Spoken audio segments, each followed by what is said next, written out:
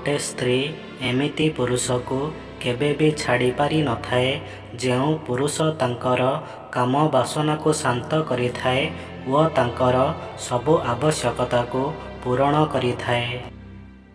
ଅଧିକାଂଶ ପୁରୁଷ କରିସାରିବା ପରେ ନିଜର ପାଣିକୁ ମହିଳାଙ୍କ ପେଟ ବା ତାଙ୍କ ମୁହଁ ଉପରେ ପକାଇବାକୁ ଅଧିକ ପସନ୍ଦ କରିଥାନ୍ତି।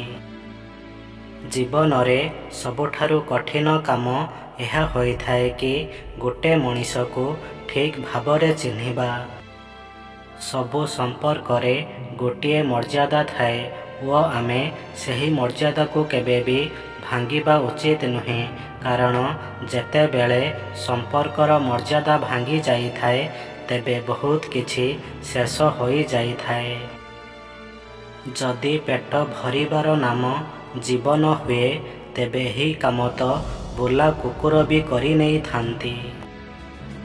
ଯଦି କୌଣସି ପୁରୁଷ ଗୋଟେ ମାସ ପର୍ଯ୍ୟନ୍ତ ପ୍ରତିଦିନ ଗୋଟେ ଗ୍ଲାସ ଡାଳିମ୍ବ ରସ ଦୁଇଟି ପାଚିଲା କଦଳୀ ଗୋଟେ ଗ୍ଲାସ ଉଷୁମ କ୍ଷୀରରେ ଶିଲାଜିତ୍ ଗୋଟେ କପ୍ କଫି ବୋଇତାଳ ମଞ୍ଜି ଓ ଚାରୋଟି ଆଲମଣ୍ଡ ଖାଆନ୍ତି ତେବେ ତାଙ୍କ ଭିତରେ ଷ୍ଟାମିନା ବଢ଼ିବା ସହିତ କରିବାର ସମୟ ମଧ୍ୟ ବଢ଼ିଯାଇଥାଏ।